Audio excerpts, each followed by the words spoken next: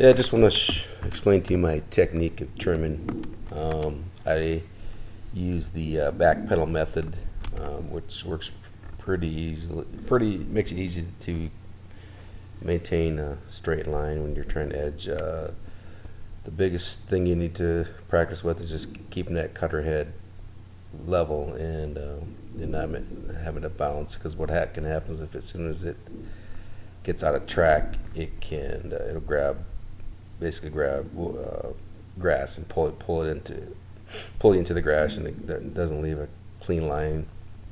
So it just it takes practice. Um, I actually learned this technique from Geek to Freak, uh, Greg.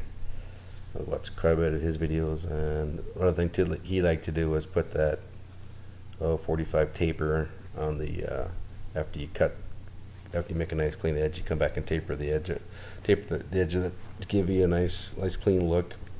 So I like, I kind of like the look. That's what I always do. Um, anyway, uh, and then when you're walking, the biggest, another, you, you can do it two ways.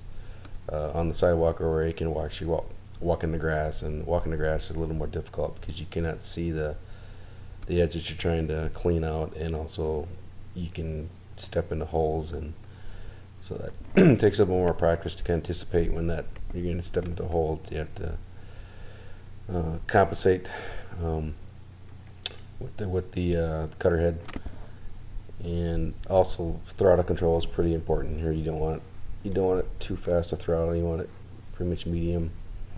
Um, I find it works best. Um, yeah, anyway, that's uh, I guess trying to kind of explain how I use my trimmer for. Uh, for cutting nice uh, edges versus having to use an edger. Now, an edger would definitely make a nice cleaner line, more consistent. That's for sure. But with practice, with practice, you can get pretty good at it.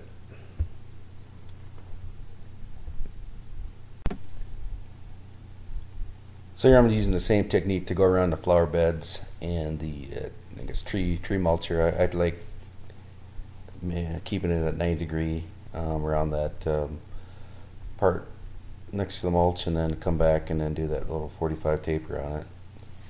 So that seems to maintain the maintain the edge fairly well and uh, looks looks a little better, my opinion. Anyway, and at, and at the end here, I got a few uh, I guess after shots. Uh, not too bad on of lines. Uh, not too bad I get for let's see for a homeowner and using a string trimmer. So anyway. Thanks for watching and take her easy.